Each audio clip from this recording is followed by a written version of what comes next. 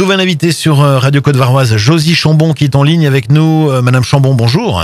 Bonjour. Vous êtes directrice de l'Institut de formation publique varois des professions de santé, l'IFPVPS, qui se situe euh, à la Garde. Euh, vous êtes donc à la tête de cette cette école hein, qui forme des aides-soignants, du personnel de, santé. Euh, un petit mot, votre réaction après la crise du Covid que nous avons traversé, le Covid qui est toujours là, hein, Madame Chambon. Votre réaction à tout ce qu'on a vécu, vous? Bien, avant de parler de ma réaction, je souhaite faire donner quelques précisions. Effectivement, je suis la directrice de l'Institut de formation publique varois des professions de santé, Mhm. qui ne se situe pas seulement à la Garde, euh, qui euh, regroupe tous les instituts du Var. C'est-à-dire la Garde de Toulon, on va dire, Mhm. hein, Brignoles, Draguignan, Saint-Raphaël. Dans tout le département du Var, alors. pour les départ le département du Var et qui forme des infirmiers, des aides-soignants, des auxiliaires de puriculture, des ergothérapeutes, des psychomotriciens et qui a aussi une, un gros département de formation continue pour les professionnels de santé et les médecins. Donc, Précision les faite. soignants. Ok, précision faite. Euh, alors, votre réaction, Madame Chambon, à cette crise du Covid-19 Mais écoutez, euh, comme tout le monde, on n'était vraiment pas préparés.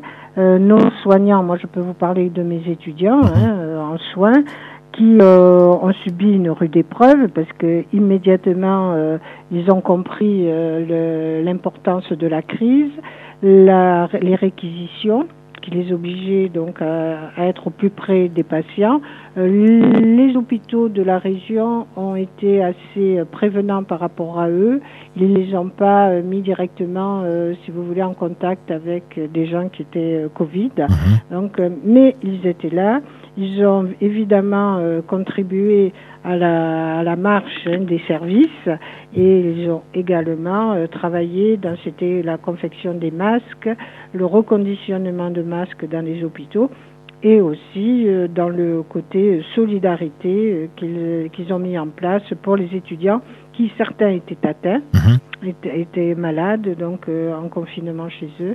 Et voilà, il a fallu surtout qu'ils continuent à bosser euh, par euh, la voie numérique. Bon, bah écoutez, eux, ils sont jeunes, ils ont l'habitude, mais effectivement, ça a changé un peu leurs habitudes de- d'apprentissage. ça doit être une sacrée expérience pour un étudiant de vivre ce genre de crise. Eh ben, je pense que ça les, va les marquer euh, toute leur vie professionnelle.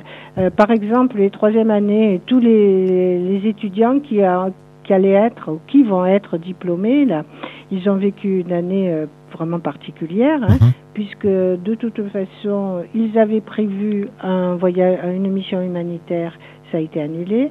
La cérémonie de diplôme d'État, qui est le passage pour eux euh, de façon solennelle avec leur famille au Zénith, qui, euh, qui accueille quand même 8000 personnes, est annulée.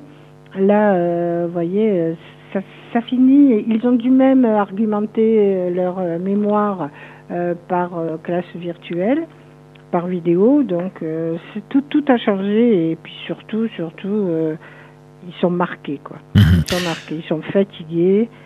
Euh, leur courage en a pris un coup.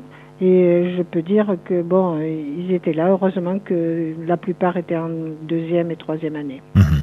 Donc une sacrée expérience, on l'a bien compris, de, que, que Oui. cette crise du Covid-19, euh, qui fera naître, selon vous, Josie Chambon, des vocations dans ce secteur euh, de la santé Ben, écoute, je l'espère parce que vraiment on est en déficit d'image. Hein, avant le Covid, on était en défi- déficit d'image Mhm. sur euh, la formation des aides-soignants. euh, nous pouvons euh, comptabiliser 30% de moins d'inscrits euh, chaque année hein, pour entrer en formation, alors que c'est 10 mois de formation avec un métier et, euh, au plus près du malade. Et euh, je pense que ces soignants, ces futurs soignants, ont compris euh, combien ils étaient nécessaires euh, à la société et, euh, disons, au domaine de la santé. Mhm. Ça, c'est clair que j'espère que la reconnaissance qu'ils demandent ne va pas euh, les gêner, si vous voulez, dans la vocation et dans leur poursuite de leur profession. Josie Chambon est avec nous sur Radio Côte Varoise. Elle est la directrice de l'Institut de, de formation publique varois des professions de santé. Euh, que dire de ces métiers de santé en règle générale, Josie Chambon euh, Revalorisation euh, des, salaires directement? Qu'est-ce qu'il faut faire pour, euh, ces, secteurs d'activité comme la santé?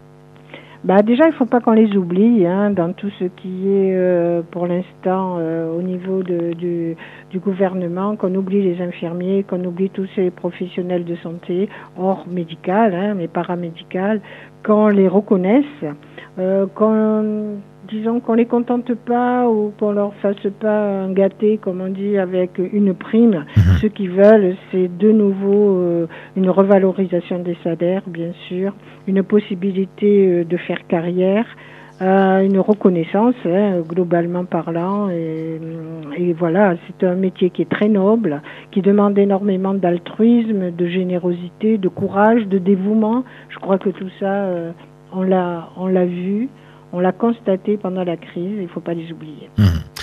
Josie Chambon, on vous connaît pour votre franc-parler. Comment euh, vous, vous, pouvez qualifier la, la gestion de la crise par euh, les instances gouvernementales de notre pays, Josie Chambon? Écoutez, il y a eu l'histoire des masques. Mmh. Les masques, je peux vous dire que nous en avons manqué puisque tout d'un coup, il a fallu que je, que je demande à mes étudiants euh, de fabriquer eux-mêmes des masques, de reconditionner des masques. Je parle du gel hydroalcoolique. Euh, voilà, il manquait, il manquait énormément de matériel euh, pour des, des, risques comme celui-là. Après, euh, ne pas ne pas le dire. Euh, ne pas le reconnaître, pour moi, c'est une faute. Euh, maintenant, vous savez, on est euh, humain, on ne peut pas être impérial tous les jours, mais en tous les cas, ce que je veux dire, c'est reconnaître, dire les choses. Alors, ne pas oublier nos soignants, c'est avant tout. Je crois qu'on doit se battre pour eux immédiatement. Et le gouvernement, je crois qu'il oublie maintenant que la crise est passée, qu'il y a une souffrance dans les hôpitaux et dans toutes les structures de soins. Mhm. C'est vrai, il faut le dire, la souffrance existe. Comment fait-on pour euh, y remédier? Il faut en parler, il ne faut pas avoir peur. C'est la question que j'allais vous poser justement, Josie Chambon. Hum. Comment fait-on pour y remédier? Que ben, fait-on pour y remédier? Oui, clairement. Eh ben, s'approcher déjà de l'hôpital sans, sans, peur, hein, c'est-à-dire regarder les, euh, les difficultés, regarder les dysfonctionnements et y remédier. Alors parfois c'est un manque de personnel parce que ou parfois c'est une organisation qui doit être différente, mhm. mais en tous les cas ça passe évidemment par du financement. Ouais. Euh, Est-ce qu'il est là aussi question un peu d'épurer toute cette bureaucratie, ces mille feuilles administratives pour faire justement avancer les choses beaucoup plus vite? C'est ce qu'on dit, mais moi je suis directeur, donc euh, excusez-moi. Euh, oui, euh, peut-être, c'est ce qu'on dit, qu'il y, a beaucoup de bureaucratie d'administratif par rapport aux soignants, mais je crois que c'est plutôt une histoire d'organisation. Mmh, tout simplement. Josie Chambon, donc, en croisant les doigts que ça suscite des vocations, hein, cette crise, que, que ce soit un, un, mal pour un bien, quelque part, si vous me permettez l'expression, comment on fait pour intégrer votre institut? Alors, pour intégrer mon institut, il y a plusieurs façons de le faire. Si vous voulez être infirmier, vous avez donc Parcoursup, c'est-à-dire c'est euh, euh, un parcours euh, par numérique qui fait que vous vous inscrivez, vous faites plusieurs choix et selon, c'est un algorithme à l'université qui note votre dossier mhm. et qui vous permet euh, d'être classé euh, voilà, euh, selon le rang que vous avez. Ensuite, si vous avez eu la chance de, de pratiquer trois ans n'importe quel métier, donc vous avez cotisé, à ce moment-là, vous avez une autre façon d'entrer qui est normalement par un concours, mais cette année, ça a été par dossier, puisque les concours, on n'a pas pu rassembler des candidats dans un même endroit. Mhm. Voilà. Ça, c'est clair. Après, tout le reste, c'est par Parcoursup ou par dossier.